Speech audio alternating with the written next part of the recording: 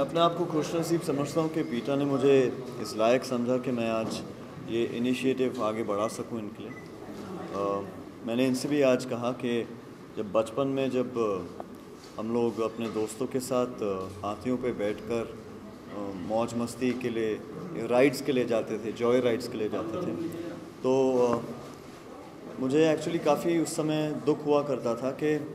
हमारी खुशी के लिए किसी एक जानवर को हम किस किस्म का दुख पहुँचा रहे हैं। तो आज इतने सालों के बाद मुझे ये मौका मिला कि मैं अपने फैंस तक, अपने लोगों तक ये एक रिक्वेस्ट पहुँचा सकूँ कि